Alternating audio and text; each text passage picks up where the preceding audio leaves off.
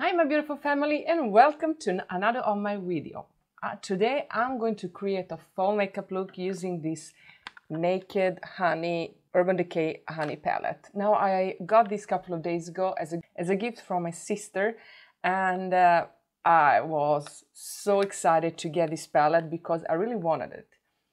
Uh, I don't have anything like this in my collection and this is a beautiful, beautiful palette. I've been trying it this whole week, creating many makeup look, many makeup looks, and I can um, say that I tried all of the shades. Today I'm going to create uh, a very easy fall makeup look for the beginners and um, with a cut crease of course so if you're interested to see the makeup look and if you want to hear my thoughts in the end what I think about this palette then please keep on watching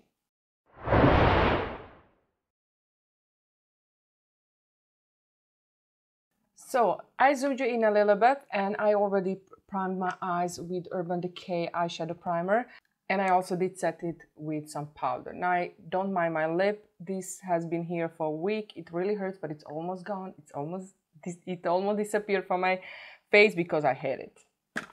But uh, it's much better now. I had a cold so that is why it's here.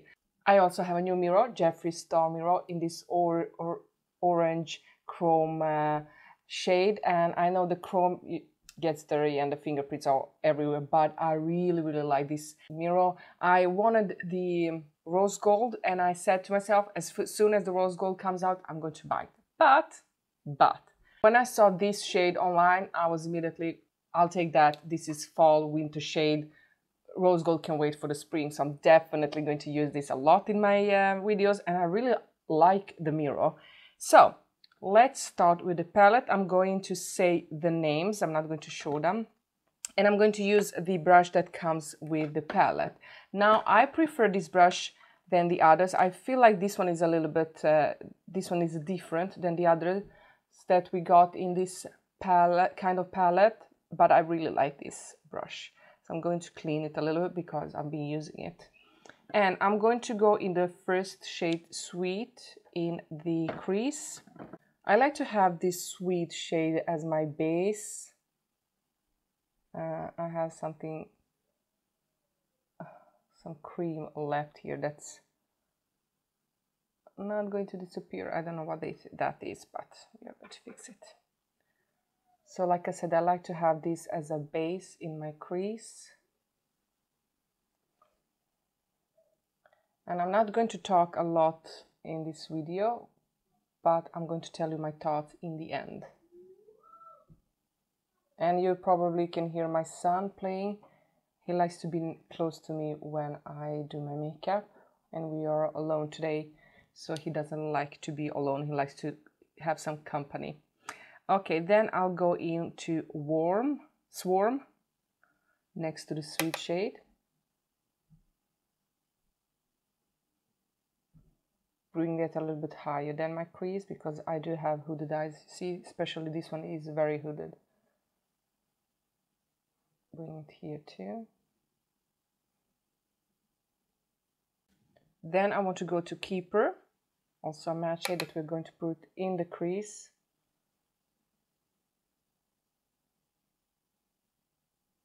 I like to create a new crease because of my hooded eyes. So and I'm using the same brush that we got in this palette. So I want to show you that this is not hard to create and you don't have, need any other brush um, than except this one that you already are getting in this palette. Same brush, go into Grip, still a matte shade and applying that to a crease, but now a little bit deeper in the crease and we are going to just have it in the crease. We are not trying to bring it higher. We are deeping up the crease. Back and forward back and forward to blend.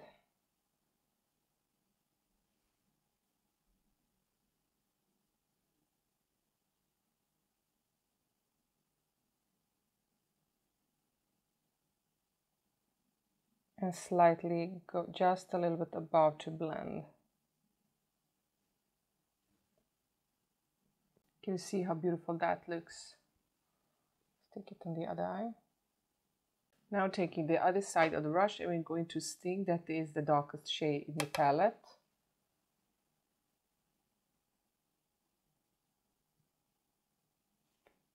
You're going to tap it and not blend it, just tap it first.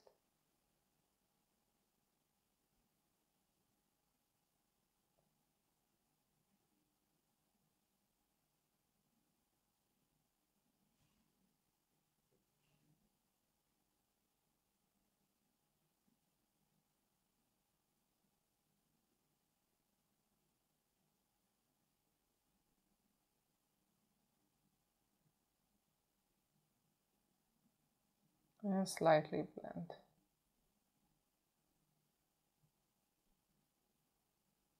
Without adding any more eyeshadow, we'll blend it, blending it in the crease. Now we are going to cut the crease and I'm going to use the P. Louise base. Uh, you can use whatever you want. I have this in front of me.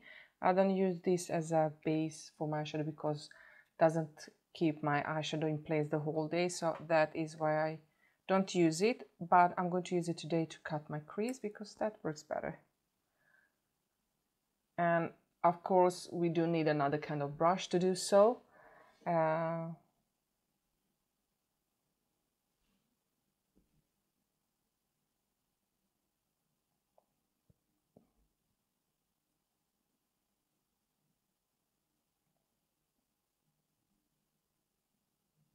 if you don't have a brush you don't need to cut your crease. You can apply eyeshadow uh, without without doing this step.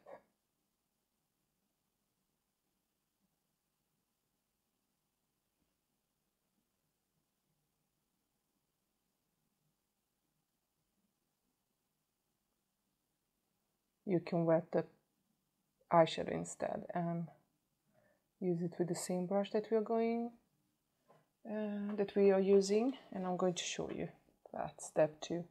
Now I'm going to clean this side of the brush that we got in the palette that we use to dark up the edges. We're going to clean it first and then I want to go in with the shade Amber with that side and we're going to apply, apply Amber here. And this is with a with a dry brush. Now if you don't have the concealer to, as a base you can wet this um, eyeshadow to get that metallic look. And it's not going to be perfect on the edge but I don't want it either to be even I don't want it to be perfect. I just want this to be very easy makeup look cut crease Then we're going to clean this brush again and I'm going to go in uh, this shade um, golden.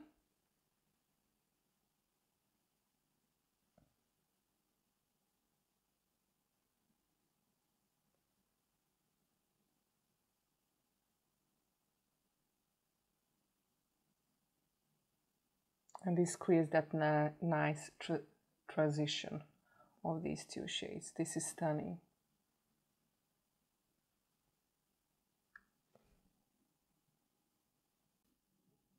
I really like that.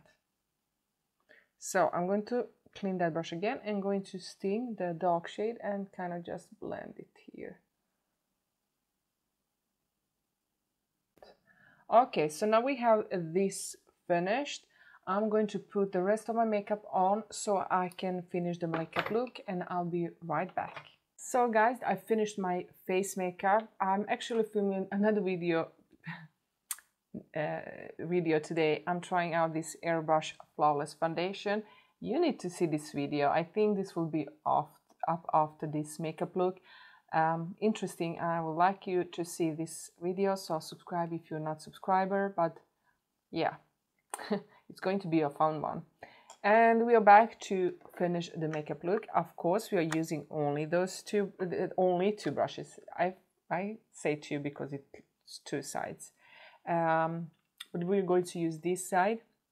And we are going to go in with the Hive on the lower lash line. and I'm going to use this mirror. I love the mirror in this palette.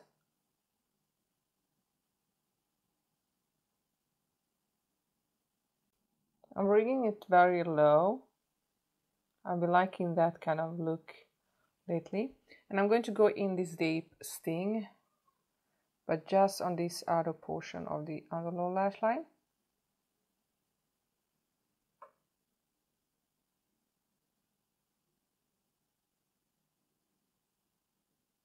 Let's clean that side again because we're going to go in the first flyby shade that's the lightest shade in this palette. And apply it here can you see how magical this shade is?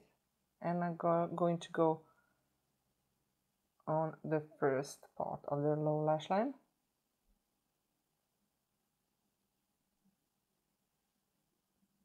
And we're going to uh, use it under the eyebrow.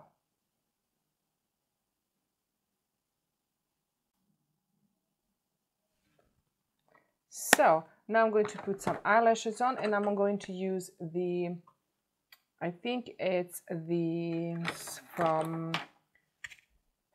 Nikia Joy Lash in Ashlight. I actually can't remember, can't read the name of them, but I'm going to apply these lashes on my eyes and I need the lash glue. I'm going to use Kiss Eyelash Glue that I got from my friend Valerie, also in the box swap. I love that glue. And you can put eyeliner on. Now I forgot the eyeliner, but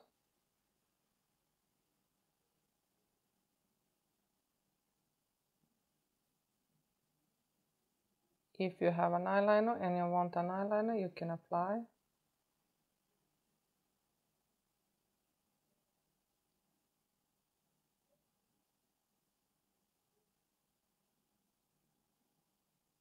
So I'm going to put some mascara on and I'm going to use the Kaya Cosmetics mascara.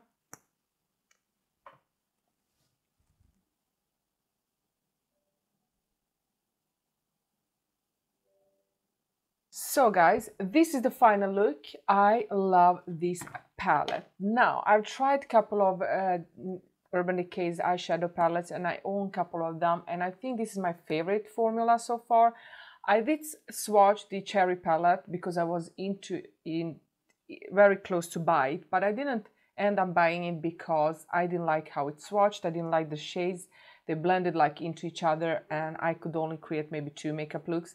I've been trying this palette out for a week now and I created some amazing, amazing makeup looks. Of course, this is only gold palette and neutral palette. So you are going to get these makeup looks, but of course you can create many of them. I get so interested and very inspired of this palette and I think the formula is better than the other palettes from Urban Decay, but that's my opinion. I know some people think uh, this palette that the formula isn't the same, that the formula is a little bit worse than the others, but I prefer this formula um, from the other palette. So I do like this palette a lot. I think it's amazing, very nice fall, very easy makeup look using only one brush. Look, but this is for me a very nice, everyday, easy makeup look for the fall. I love it.